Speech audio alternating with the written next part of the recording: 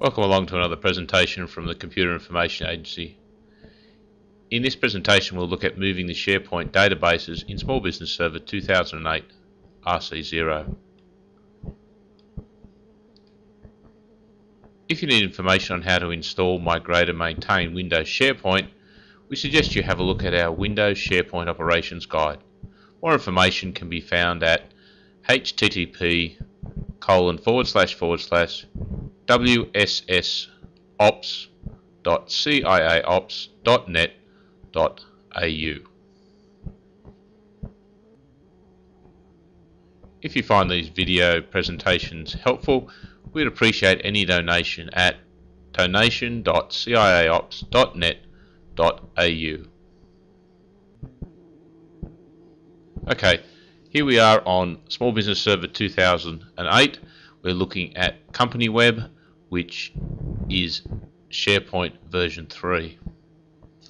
If we take a look at the file structure, we'll notice that the SharePoint databases by default are installed into the C drive of the system. They're installed under Windows, under a directory called SYS MSI, then SSEE, and finally under a directory called data. Basically, when we move these databases, we'll find that the complete folder structure from Windows down is replicated on our new drive. So the first thing we need to check is that we have an available drive, which we do in this case. We will want to be placing it on volume E. To make the change and migrate the databases to another drive, we run the Windows Small Business Server console and we then select the backup and server storage icon. From there we select the server storage tab and we note that we have our two volumes here.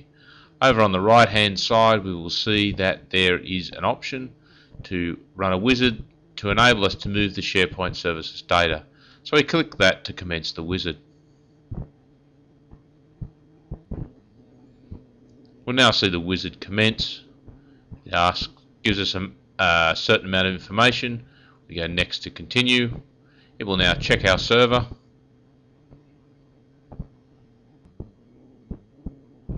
If we haven't configured our server backup, then we will need to do this before we move our data.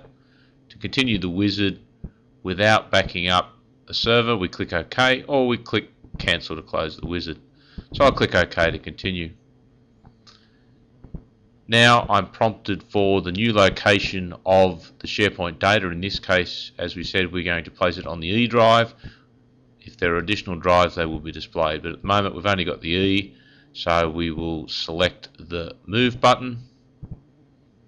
And the wizard will now commence moving the data basically by doing a SQL detach, moving the data by copying, and then an SQL reattach with the data in the new location.